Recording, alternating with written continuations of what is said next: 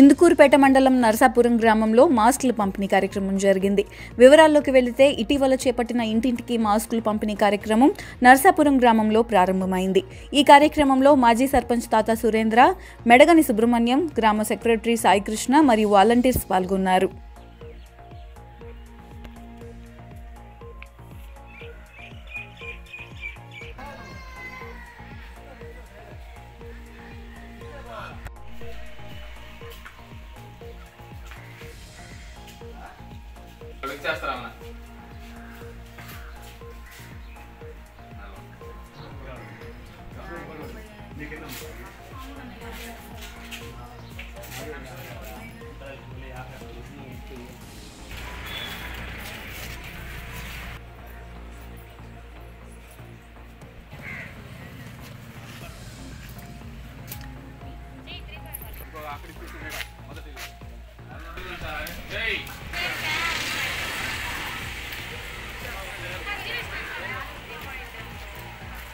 Yeah.